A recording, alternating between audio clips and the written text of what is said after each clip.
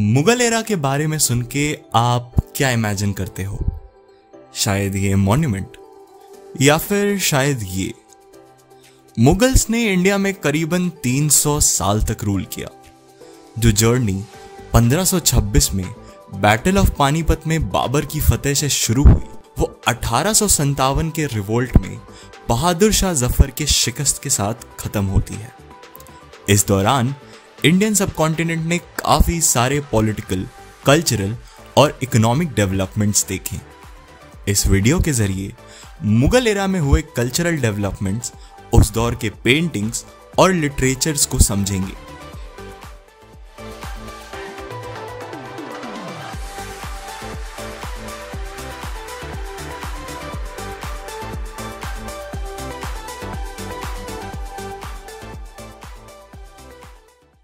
दिल्ली पर बाबर के कंक्वेस्ट के साथ इंडिया में टर्को मोंगल ट्रेडिशन का इन्फ्लक्स शुरू हो गया।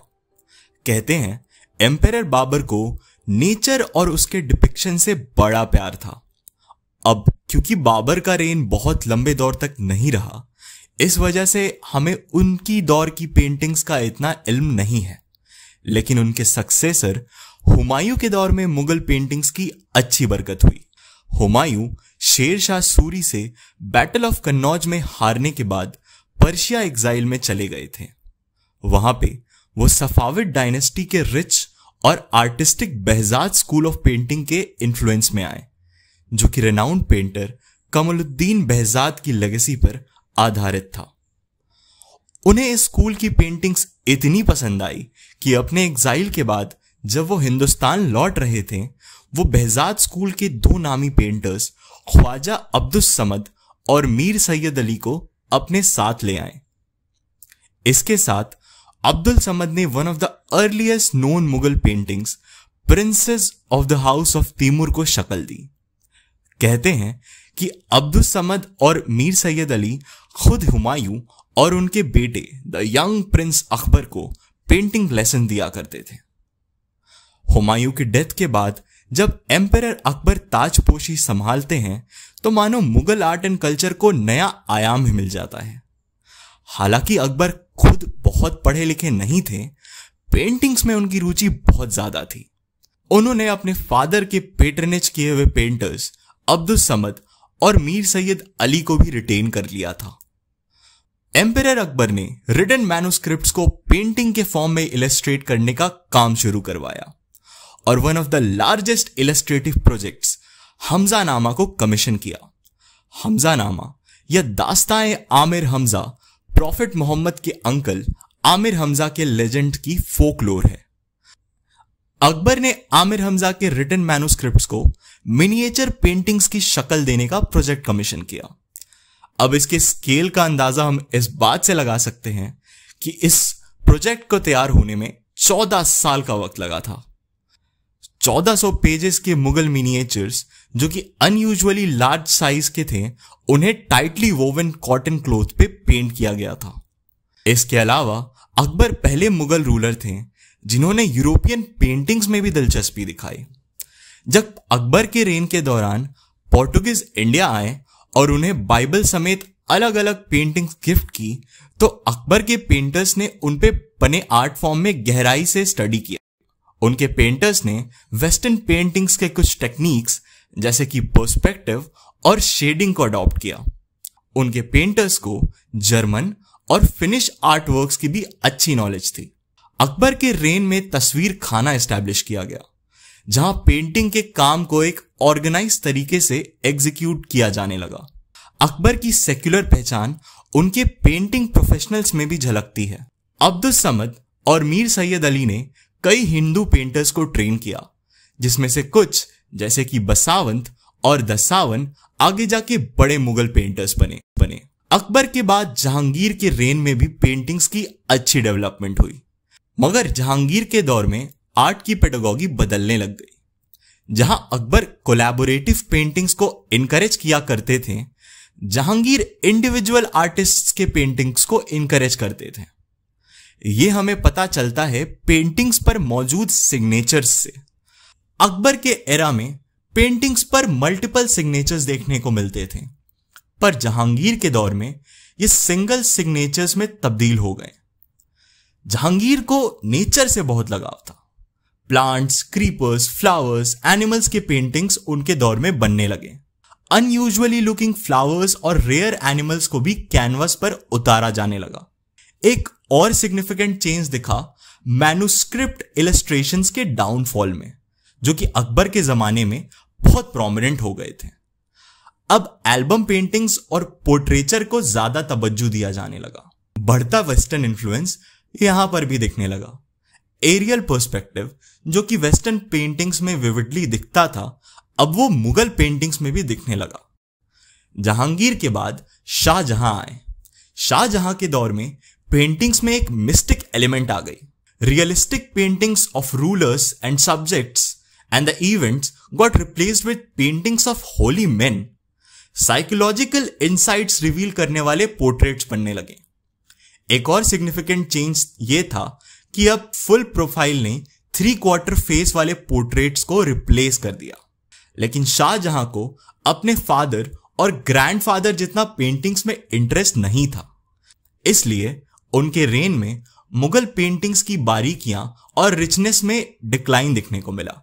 हालाँकि पेंटिंग्स में डिटेलिंग अभी भी बरकरार थी, मगर पेंटिंग्स में एक स्टिफनेस और फॉर्मलिज्म आ गया, जो कि पहले की पेंटिंग्स की फ्लूइड नेचर से परे था, जिसके बदौलत पेंटिंग्स की इनोवेशन कम हो गई। इसके बाद औरंगज़ेब का दौर आता है। औरंगज़ेब एक नैतिकवादी शख्स थे। जिन्हें आर्ट में बहुत कम दिलचस्पी थी। उनकी सोच फिजूल खर्ची और आरामशुदा ज़िंदगी को नागवारा समझती थी। हालाँकि शुरुआत के दौर में औरंगज़ेब के द्वारा कमीशन की गई कुछ पोर्ट्रेट्स आज फाइनेस्ट मुगल पेंटिंग्स में गिनी जाती हैं, जब 1688 में रिस्ट्रिक्टिव रिलीजियस ऑर्डिनेंस लागू किया, उसके बाद मुगल पेंटिंग वर्कशॉप तो मानो बंद ही हो गए। अच्छे कारीगर दूसरे राजाओं के कोर्ट्स में चले गए और जो कम टैलेंटेड थे, वो बाजारों में स्टॉल्स लगाने लगे। उसके बाद मुगल डायनेस्टी का डिक्लाइन भी शुरू हो गया। सालों के चेंजेस और अलग अलग रूलर्स के इंटरेस्ट से मुगल पेंटिंग्स में पर्शियन इंडियन और यूरोपियन इन्फ्लुएंस आया। मुगल आर्ट ने आगे के कई स्कूल्स ऑफ़ पेंटिंग जैसे कि अवधि, लाहौरी, दिल्ली और पटना स्टाइल को भी इन्फ्लुएंस किया। दोस्तों, अब बात करते हैं लिटरेचर की। पेंटिंग्स के साथ साथ मुगल आर्ट एंड कल्चर की बात लिटरेरी डेवलपमेंट्स के बिना अधूरी है। बाबर की मदर टंग टर्किश थी और इसी लैंग्वेज में उन्होंने अपनी मेमोयर ताजुके बाबर भी लिखी।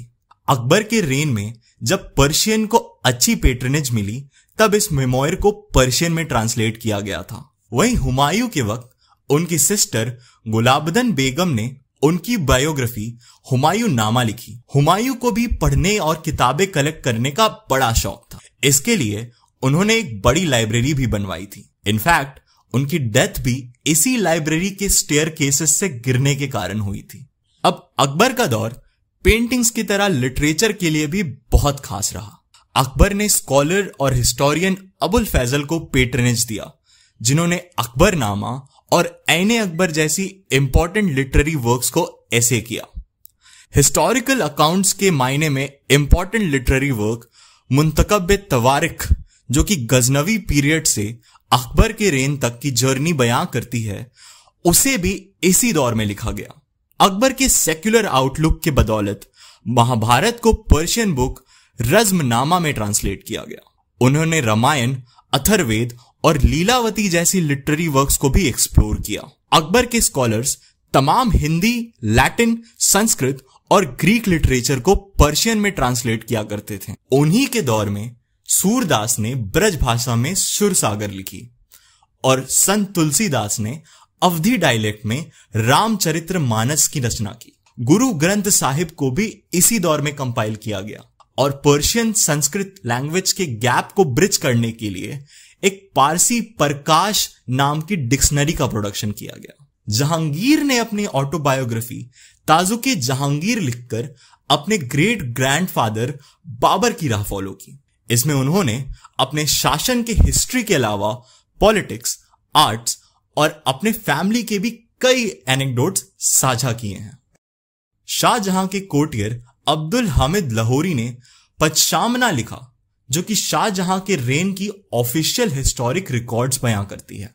उनके बेटे दारा सिक्को खुद पर्शियन, अरबिक और संस्कृत के एक लर्नेड स्कॉलर थे, जिनकी निगरानी में उपनिषद भगवत गीता, रामायण और योगा वशिष्ठ जैसे हिंदू लिटरेचर को पर्शियन में ट्रांसलेट किया गया। औरंगज़ेब का दौर रिलीजियस सबमिशन का दौर था। इस कारण उस वक्त के लिटरेचर में भी एक रिलीजियस झुकाव था। फतवाए आलमगिरी औरंगज़ेब के द्वारा लिखी गई एक किताब है, जिसमें states craft ethics military strategy punishment और इकोनॉमी का बखान शरिया लॉ के हवाले से किया गया। तो इस वीडियो में हमने देखा कि कैसे मुगल एरा में रूलर वाइज पेंटिंग्स और लिटरेचर डेवलप हुए।